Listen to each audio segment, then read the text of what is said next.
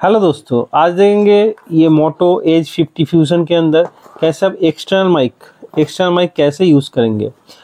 उससे पहले इससे इसका जो माइक क्वालिटी है, वो देख लेते हैं। इसका एक्सटर्नल माइक यूज़ करने के लिए अलग सा एक ऑप्शन आता है। वो ऑप्शन ऑन करने के बाद ही इसका एक्सटर्नल माइक ऑन होता है।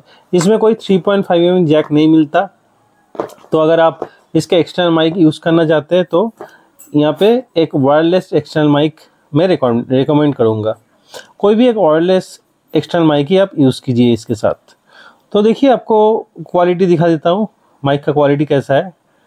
तो पहले ये दिखाता हूँ। देखिए ये इंटरनल माइक दोस्तों सब लोग कैसे हैं? इसका ये इसका इंटरनल माइक से इसका वीडियो रिकॉर्डिंग हो रहा है और इसका जो माइक यूज़ है कोई एक्सटर्नल माइक लगा नहीं है।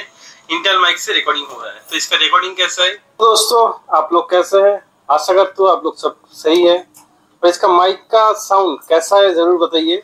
ये मोटो ये माइक से रिकॉर्डिंग है। इसका माइक का साउंड कैसा है कमेंट में ज़रूर बताइएगा। और नॉन तो देखिए आपको अंदाज़ा लग गया इसका इंटरनल माइक और एक्सटर्नल माइक कैसा है। तो अभी आपको दिखाऊँगा कैसे आप इसका एक्सटर्नल माइक यूज़ कर सकते हैं। इसका जब भी आप वीडियो में जाएँगे वीडियो में जाने के बाद आप जब भी देखिए यहाँ पे वीडियो में जाएँगे वीडियो में जाने के बाद यहाँ पे एक एरो शो होगा। कोई भी अगर रिकॉर्डिंग करेंगे, एक एरो शो होगा। एरो पे क्लिक करने के बाद देखिए एरो पे क्लिक करने के बाद यहाँ पे दो ऑप्शन आपको मिलता है। देखिए, दो माइक का ऑप्शन आपको मिलता है। और एक बार दिखा देता हूँ। देखिए एरो पे दो ऑप्शन आपको मिलेगा।